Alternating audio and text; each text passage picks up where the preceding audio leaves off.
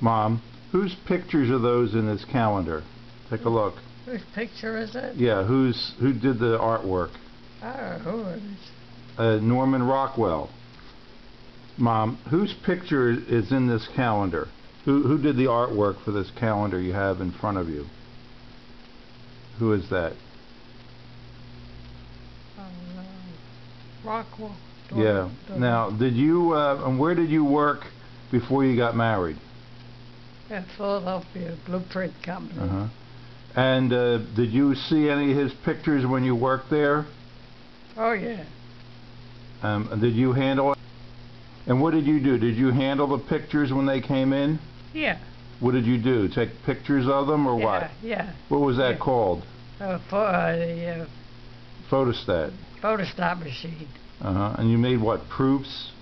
Yeah. Was why is it the publishing company was not far from there, was it? No.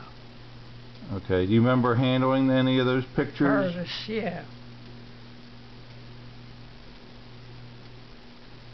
And then now when the pictures came in, uh, where I bet the uh, the was how what was the paint like? What was the what? The paint on the picture.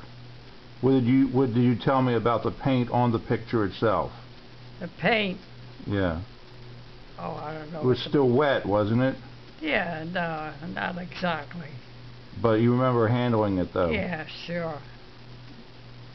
And what year was that roughly? Oh, I don't remember. hmm